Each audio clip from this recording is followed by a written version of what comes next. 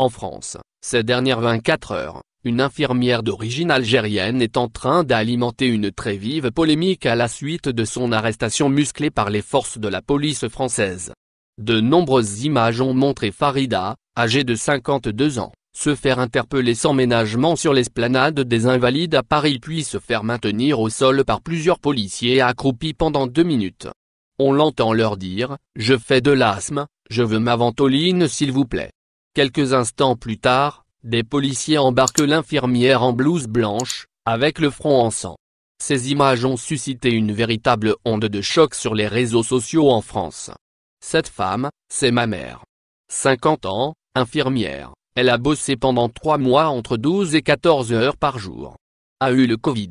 Aujourd'hui, elle manifestait pour qu'on revalorise son salaire, qu'on reconnaisse son travail. Elle est asthmatique. Elle avait sa blouse.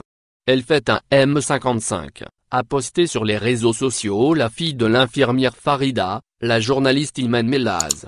Il est à préciser que l'infirmière Farida, vit à Ivry et travaille à l'hôpital Paul Brousse de Villers Juif. Ceci dit, les circonstances de cette arrestation, certes, très musclées, ne font pas du tout de l'infirmière Farida une victime expiatoire de la répression policière. En effet, les images ayant précédé l'arrestation de Farida montrent une autre réalité. En effet, une caméra de BFM TV qui filmait la manifestation en direct a saisi les instants qui ont précédé l'arrestation.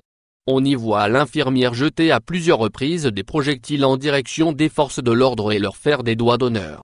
Le syndicat indépendant des commissaires de police a diffusé les images avec ses commentaires, la gentille infirmière, qui avait besoin de sa ventoline, et qui est présentée comme une victime de la police. Elle jetait des projectiles juste avant son interpellation. Elle a été interpellée mardi soir pour outrage, rébellion et violence sur personne dépositaire de l'autorité publique. Malgré la mise au point de la police française, la polémique continue d'enfler.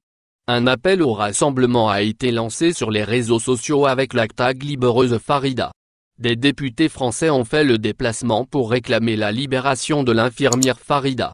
Or, celle-ci est maintenue toujours en garde à vue mardi soir à minuit, elle pourrait être jugée en comparution immédiate dès jeudi.